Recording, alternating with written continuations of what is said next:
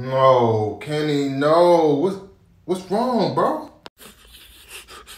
What's what's what's wrong is that I'm a squirrel and it's no nut November.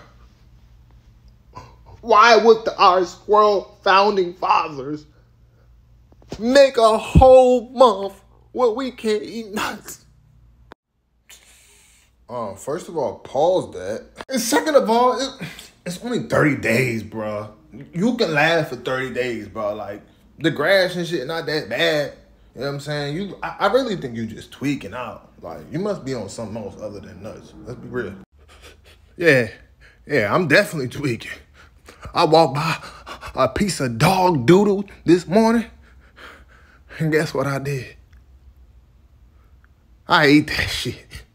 No, oh no, You didn't, no, you ain't eat no shit. Candy, no. Yeah, the poop was just, it looked like it was talking to me. It was like, you thought I was feeling you? I said, yeah, I'm a munch, and I'm gonna eat you for long.